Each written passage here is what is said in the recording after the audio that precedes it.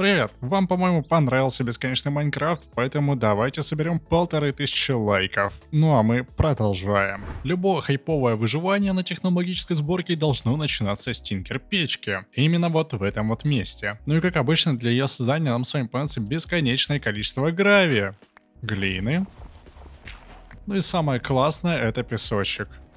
Объединим это все вместе в верстаке для того, чтобы получить цемент. Но также еще немножечко мы с вами заберем из квестов.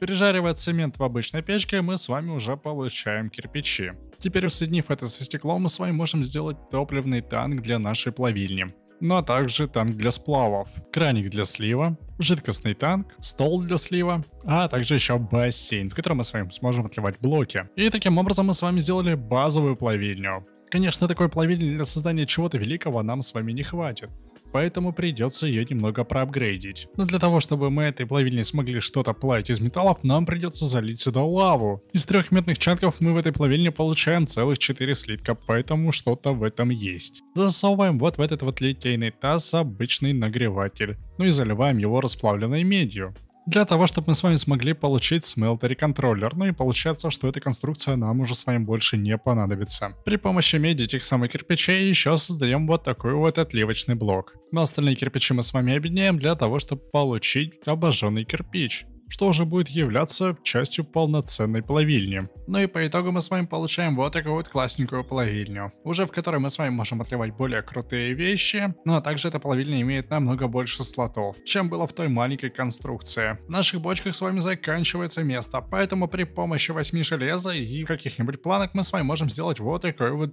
железный апгрейд. Применив его по бочке, мы с вами превращаем нашу обычную бочку в железную. При помощи этого мы с вами увеличиваем слоты в этой бочке из одной, получается, бочки мы с вами делаем целый двойной сундук. Ну а переплавляя чанки в этой печи, мы уже с вами получаем на выходе x2 продукт. То есть мы с вами засунули два чанка, а на выходе получили целых 4 слитка. Но ну, а поизучав немного материала из тинкера, у меня получилось собрать кобальтовая кирка, которая у нас с вами будет на 839 прочности. При этом у нас с вами оголовье из кобальта, связывающие элементы из розового золота, но рукоятка у нас с вами будет из бронзы. Достаточно простые ресурсы, но для того, чтобы нам с вами достать кобальт, нам с вами придется отправиться в ад. Но для этого придется построить портал. Поэтому отливаем наш первый слепок, и в награду за создание первого слепка мы с вами получаем слепок пластины. Заливаем слепок пластины железа для того, чтобы получить железную пластину. Объединив которую с кремнием, мы с вами получаем зажигалку. Но для того, чтобы наши слепки хранились в одном месте, сделаем вот такой вот сундук для этих самых слепков. Но так как добывать обсидиан сейчас мы с вами не можем, поэтому придется делать портал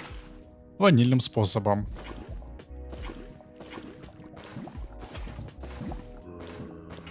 Ну а теперь остается только его поджечь, ну и собственно зайти в него. Да, находясь в аду, конечно же, наша самая главная задача это выжить любой ценой но что-то не особо у меня это и получается. Но зато мы здесь с вами кобальт нашли, который, по идее, мы с вами можем добыть даже нашей железной киркой. Страшно. Хочу жить, хочу жить, хочу жить. А, не жить. Отливаем оголовье из кобальта. Для того, чтобы получить розовое золото, нам с вами понадобится 3 меди, а также один слиток золота. Ну а для того, чтобы получить бронзу, 3 меди и олова. Из бронзы отливаем рукоятку но из розового золота уже связывающий элемент. Собираем кирку в тинкер-станции получаем кирку на 880 прочности. В любом случае мы с вами получили кирку даже еще лучше, чем я планировал сделать. Использовав не ту бронзу, мы с вами понизили скорость копания на 4 десятых единицы. Ну, в принципе, ничего страшного нету. Добавив к нашей кирке алмаз, мы с вами сможем увеличить прочность, а также еще сможем увеличить скорость копания. Ну а пока обойдемся и таким простым инструментом там. Добегался я правда до такого момента, что наконец-таки нашел крепость. И вот этого злого скелета, который, наверное, в скором времени меня захочет убить. В общем-то, если поизучать карту, то вот здесь у нас с вами находится портал, пробежал я вот это вот все место, и нашел здесь крепость. Ну а также еще вот здесь вот у нас с вами что-то есть, скорее всего, внизу под лавой. И как-то это очень сильно похоже на какие-то шахты. Нужно будет это потом тоже изучить. Создав наконец-таки кобальтовый инструмент, я умудрился перенести портал в ад снизу наверх и немножко украсил его. Надеюсь, вам понравится. Совсем немного подобывал кварца, золота и немножко кобальта. Но дальше при помощи этой печи мы с вами сможем создавать андезитовый сплав, для того, чтобы начать изучать мод Create. Создается он при помощи заливания расплавленного железа, либо же расплавленного цинка.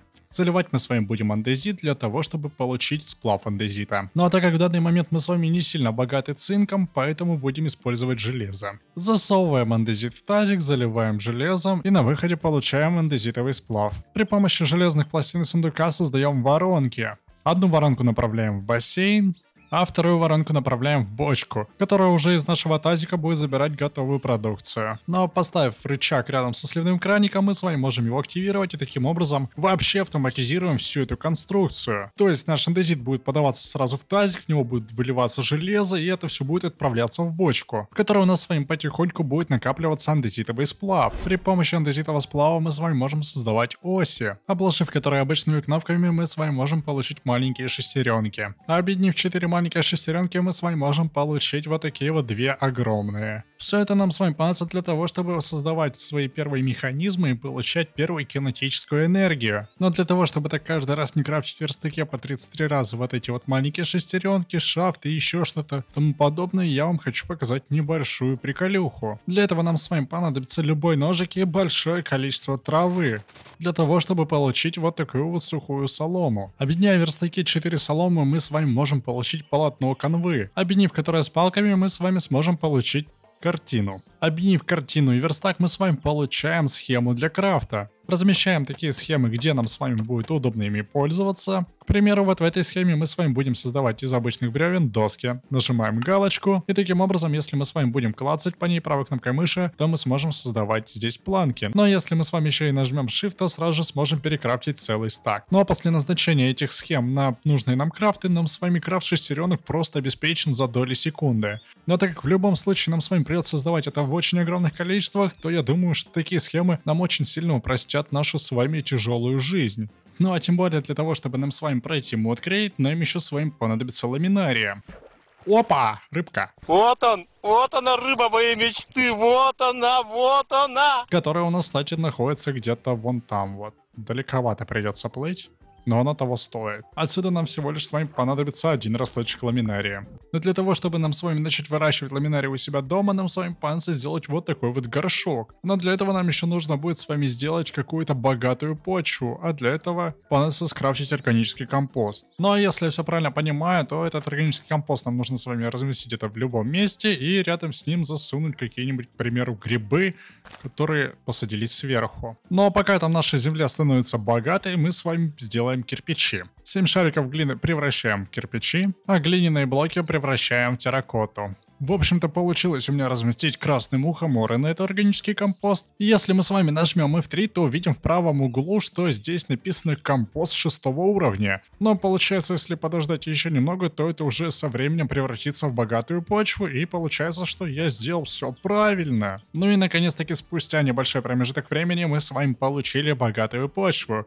которую собираем лопатой, из удобрения богатой почвы кирпичей собираем какой-то богатый горшок, а уже его переделаем в ботанический горшок. Теперь, по идее, нам его нужно с вами поставить, разлить в него воду, ну и посадить ламинарию ну и подождать целых 20 минут. Чуть позже, когда мы с вами распахаем крейт, мы с вами сможем улучшить этот ботанический горшок, чтобы он был автоматическим. То есть все, что будет в нем производиться, будет сразу же собираться и отправляться в какой-нибудь контейнер для его следующего хранения. Ну а для того, чтобы нам еще было с вами удобнее работать с Create ом, сделаем вот такой вот toolbox. В эту штуковину мы с вами можем поместить до 8 различных предметов и пользоваться ими. К примеру, это будут шестеренки, различные shaft ы, ну и там какие-нибудь еще, к примеру, примеру, блоки. Как вы можете заметить, то у меня в инвентаре абсолютно нет ничего из Create а. Но если мы с вами зажмем левый Alt, то у нас с вами появляется вот такая вот менюшка, где мы с вами можем выбрать различные эти 8 предметов, которые мы с вами положили в наш toolbox. К примеру, это будут маленькие шестеренки. Поставим сюда, сюда, сюда. Поместим это все обратно и возьмем, к примеру, уже shaft ы. Нам это все надоело, мы это все сносим. И как вы видите, то просто предметы у нас с вами появились в нашем инвентаре. Поэтому зажимаем снова Alt и убираем это все обратно в нашу сумку. Как по мне, это очень прикольная и полезная вещица, потому что когда мы с вами будем сейчас строить большие-большие фермы, заводы из крейта, то нам понадобится вот так вот много раз пользоваться этими всякими штуковинами. А здесь можно просто за секунды переключаться. Дальше для того, чтобы нам с вами изучать крейт, нам понадобится с вами сделать андезитовые кейсинги. Создаем еще один тазик, ну и пока что из всего возможного мы с вами можем сделать только механический пресс. Но для того, чтобы нам с вами правильно настраивать механизмы и правильно рассчитывать мощность, нам нужно с вами будет сделать вот такие вот инженерные очки. Теперь мы с вами выглядим как хайповые инженеры. Ну и теперь благодаря этим очкам мы с вами можем увидеть, сколько нам нужно кинетической энергии для того, чтобы работал, к примеру, вот этот механический пресс. 1280 СУ. Нужно, чтобы работал этот пресс. Одно водяное колесо у нас с вами будет выдавать 320 СУ. А 5 таких водяных колес будет выдавать 1600. Ну и как вы понимаете, то для того, чтобы запустить вторую такую машинку, нам уже с вами не хватит нашей энергии. Поэтому нам остается либо увеличивать количество колес для того, чтобы у нас хватало энергии, либо менять источник энергии. Но с этим мы с вами разберемся совсем чуть-чуть попозже. Но пока что мы с вами засунем два андезит алоэ сюда, а также еще 5 железных пластин